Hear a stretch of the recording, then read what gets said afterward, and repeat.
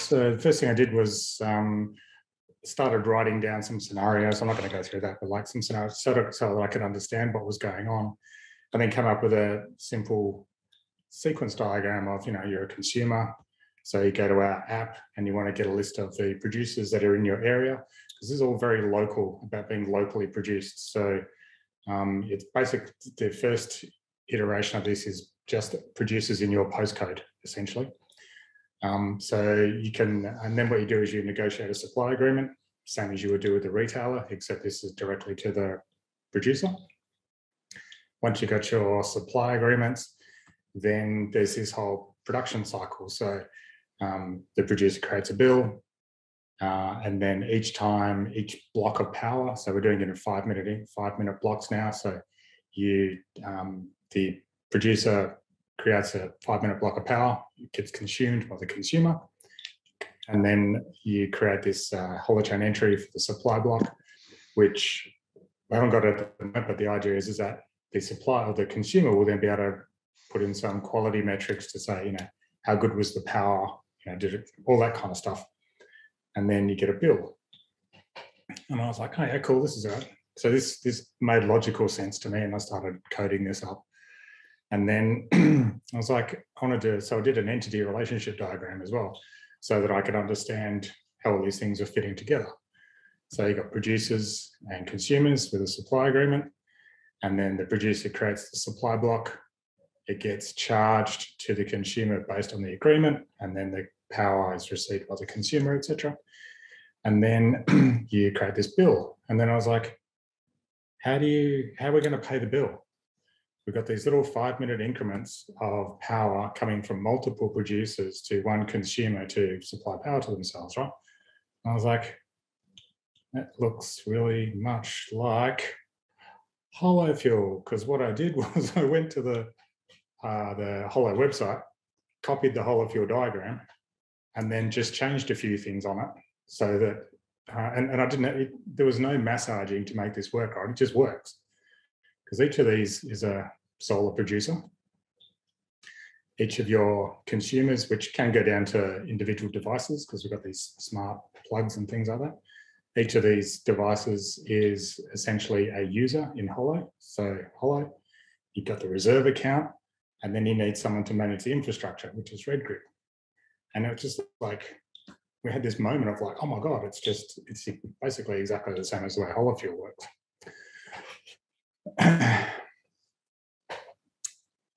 Um, should I go? Do you want me to show you some code now? Or yeah. All right, cool. Yeah. So after I had that revelation, I was like, well, this is going to be really cool. So now we can just build the like the red RedGrid side of things, and then we can literally work with Holo to implement our own type of um, currency. So I was like, okay, it's been 12 months since I wrote any holochain code. What am I going to do? And I found this awesome tool say that. Literally, you just write this, right? This, this, this, you did nothing installed. You can literally, if you've got npm installed, which every developer has, you can go npm init holochain and press return. There you go. There you go. Yep, let's proceed with that. it pops up a nice UI for you to decide what your app is. Let's call this AMA one. You can pick your UI front end. I like Vue, so I pick Vue.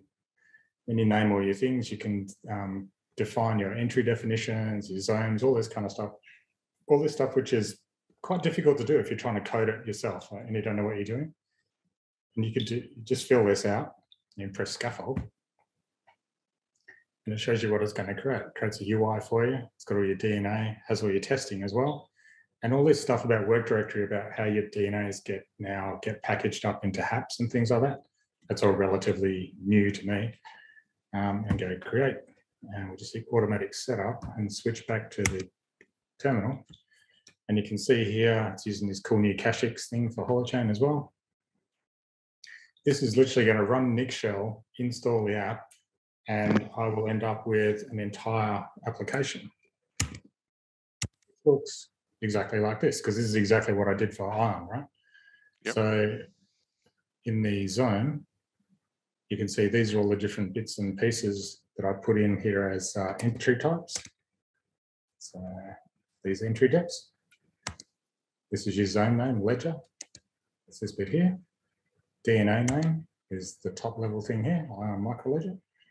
And it creates all the code for you. And it's really nicely done code too. Like your entries are separate from the way that it's handled.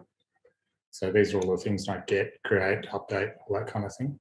And you'll notice that down here, you can set read, update, delete if you want those functions. So on some functions, you don't want that. I think on a supply block, I didn't do, yeah, see on a supply block, you can only create it. You can't do anything else.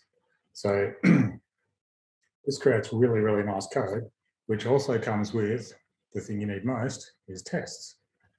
So all the tests are here as well. So you can wow. see it's got all the testing and it's really cleverly done. Like again, quite a master and he's done a really good job here. Um, and this is really nicely done. So I actually relearned how to do holochain coding again from this uh, application.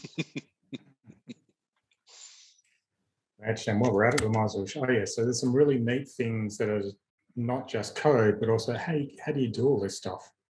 So if you look in the package JSON file, it's got a whole bunch of commands on what to actually do. So if I go back to my code, oh, see, it's worked already. So now we've got this um, app called AMA1. Let's Load it up over here. Um, AMA1. Yes. And there you go. There's the UI. There's all your DNA. So we did the zome called zome zero, entry def. Entries. Right? And that was only a couple, couple of minutes. That's super fast. Um, right, so if we go back to the one I'm actually working on, and we'll just stop this. What's really cool now is that uh, in, you can do, so if I make a change to my code,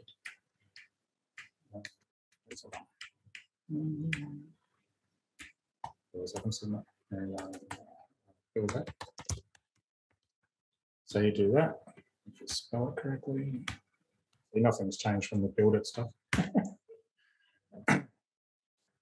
it's actually, so there you go, it's built. So any new code that I've done has now been built and now I can do npm run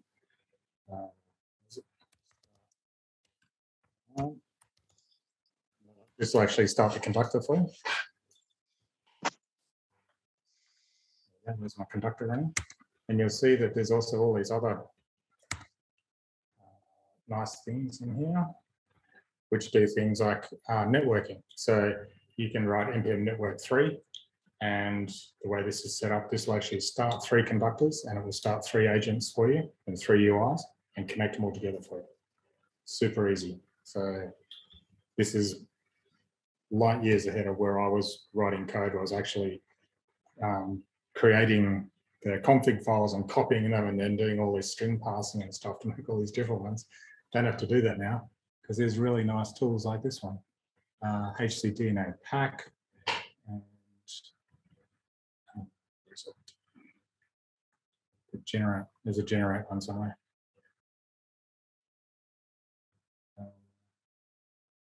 So I guess just to add to what uh, Phil's saying is when, when we brought them in, uh, there we go. Uh, yeah, when we brought them in, um, so we had this this code base that we did with this university, and a lot of these concepts were pretty primitive and done by hand.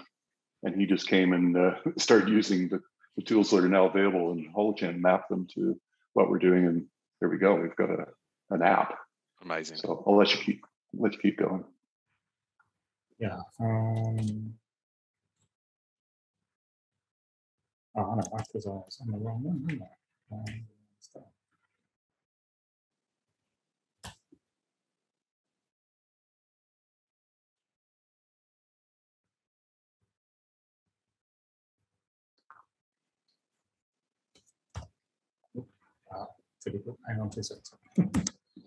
So while you're doing that, I'll, just explain a bit about um, if, if people people probably if they've been following Holochain enough, they've heard about RedGrid. Um, what's interesting is we're a commercial company. Uh, there's a lot of projects in Holochain, which are really good, but uh, we're actually a for-profit company in RedGrid. And September we created Ion, which is a global play. and that's open source. So the relationship between the two is that Redgrid is our first service provider. I've got my Ion hat on now and my Ion shirt, and the, the the code that's produced there will get fed up and become open source in some way.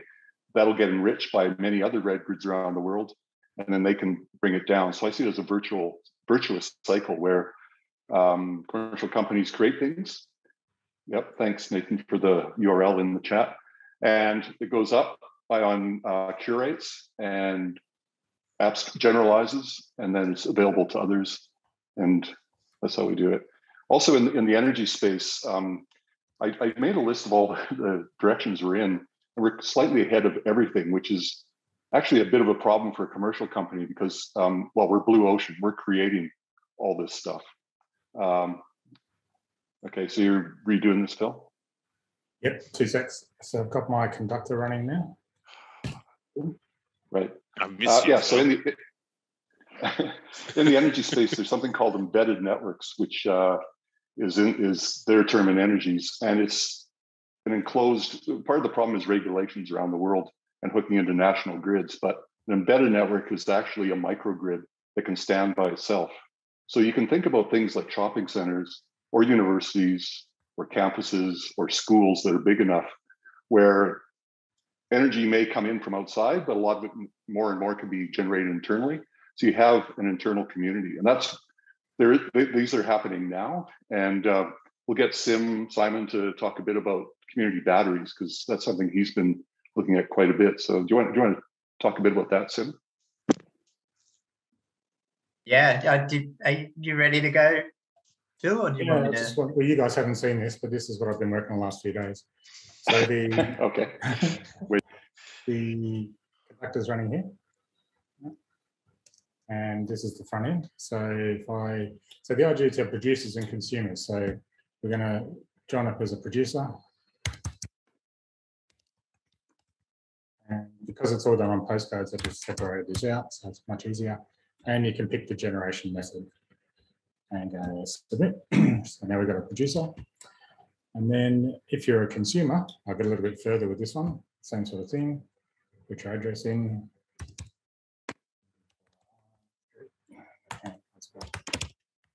Straight, and then same postcode. And then you go submit. And then what we're going to do next is you able to pick which type of producers in your local area do you want to do you want to set up a supply agreement with? Like, is it your local community battery, your neighbour's solar system, or somebody's got wind in the area as well? And then you'll be able to set up the supply agreements like we got up here. And then start supplying power. And because it's me, because it's all